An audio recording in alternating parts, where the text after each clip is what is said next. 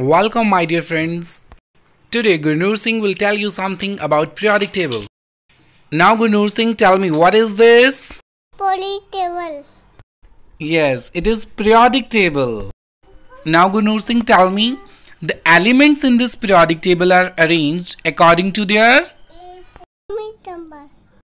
Yes, very good. Elements in this periodic table are arranged according to their atomic number. Now Noor look here. A vertical column in the periodic table is called Group. Yes, a vertical column in the periodic table is called group. Now tell me a horizontal row in the periodic table is called Period.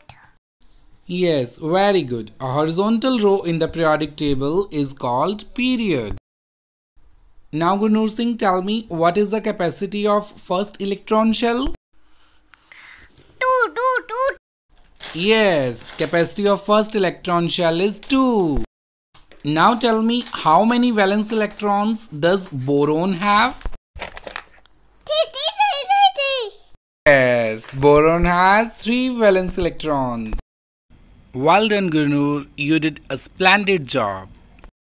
Thank you, thank you, thank you. Hope you like this video, subscribe this channel and press the bell icon button to get the further notifications. And don't forget to share this video. Goodbye.